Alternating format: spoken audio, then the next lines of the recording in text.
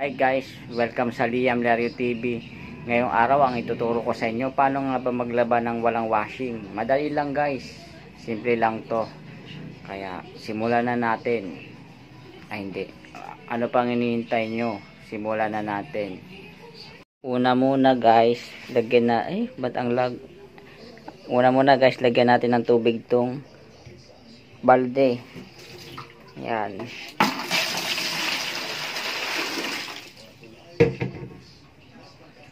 Dapat mga kalahati. Yan.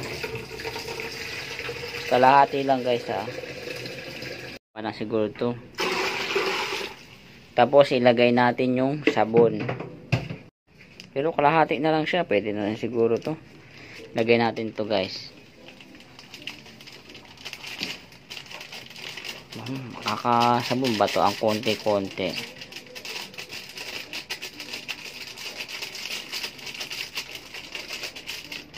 na wala na guys. Wala nang sabon. Wala akong pera pang bili. Lagyan na lang natin pang hugas.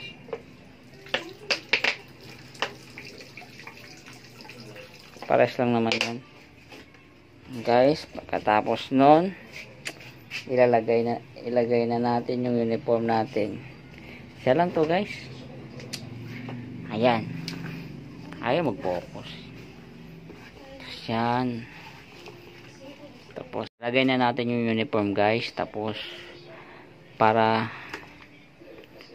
total ang tutorial ko paano mag maglaban ng walang washing.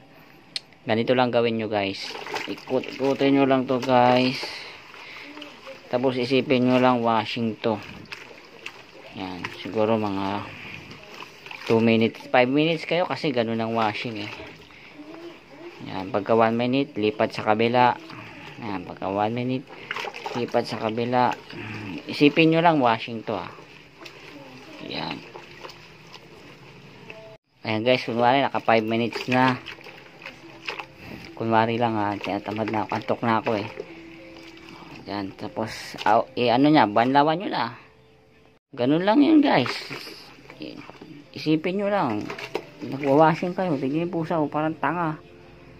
Ano, ano kaya to? Parang tanga to washing daw kinamay lang naman.